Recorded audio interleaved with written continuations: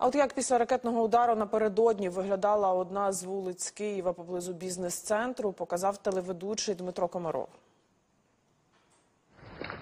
центр Киева.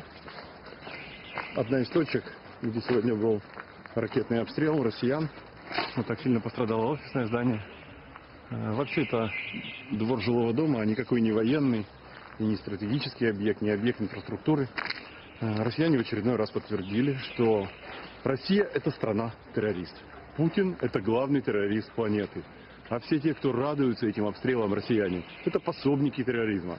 Еще важный момент, вот к чему все радуются? Какая военная цель достигнута этими более чем 90 ударами, из которых 45 ракет было сбито. Еще такие летающие мопеды тоже были сбиты. Никак это не повлияет на ход войны.